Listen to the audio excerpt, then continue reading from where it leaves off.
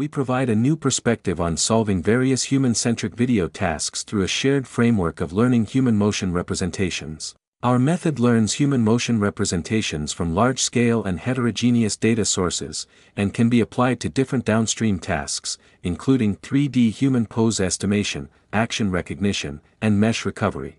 Here, we show some results on challenging internet videos.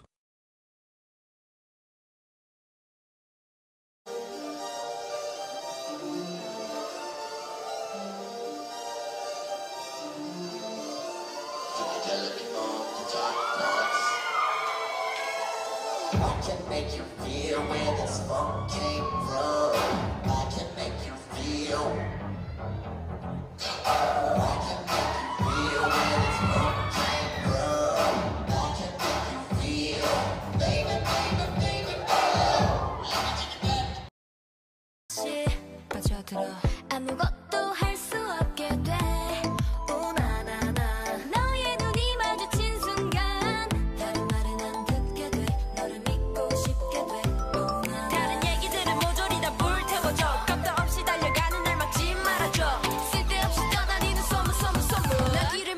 하나만 믿어 믿어 믿어 boy.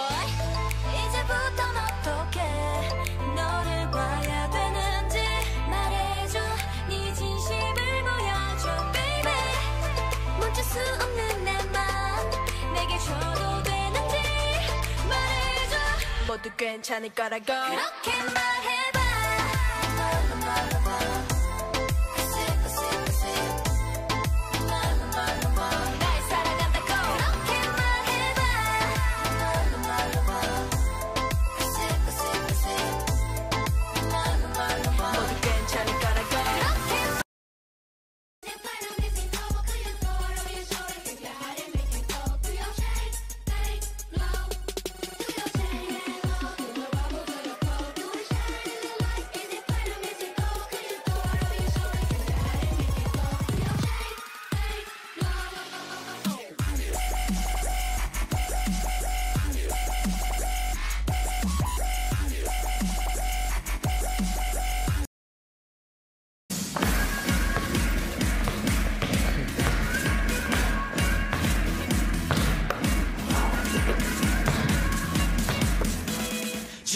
Time uh, baby, oh. Genie time